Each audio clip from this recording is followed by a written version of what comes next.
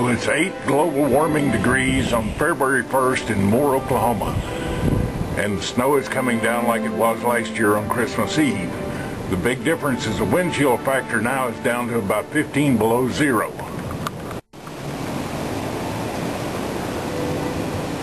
And this is my backyard. You can see the snow built up there. And hear the wind just howling through the trees and whipping the snow around.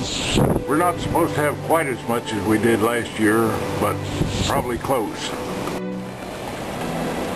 And this is out the front door, not a track in the snow in the street, so I don't suppose anybody's going anywhere. I know I'm not.